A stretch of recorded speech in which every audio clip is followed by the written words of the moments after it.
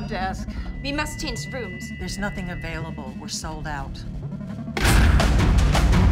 The set of this show is really unlike anything I've ever seen in my life. The Hotel Cortez. It's beautiful and grand and specific. It's an entire world in and of itself. This place is the real deal. The elevator to hell got jammed between floors, and all that evil escaped into this hotel.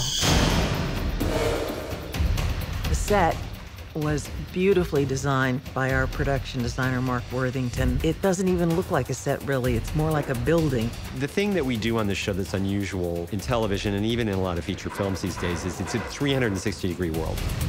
We put ceilings on everything. We integrate all the lighting. It's almost sort of old Hollywood in a certain way.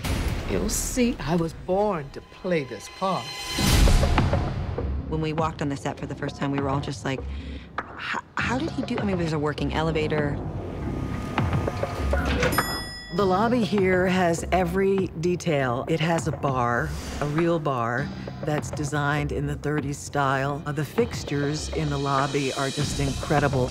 This is actually Cortez uh, from the Hotel Cortez. Over the bar is the matching counterpart to Cortez. Cortez's Aztec consort, La Malinche. She sold out the Aztecs for love of Cortez. These are Venus flytraps, which is a little cheeky reference to Lady Gaga's character. I'm so pleased to meet you.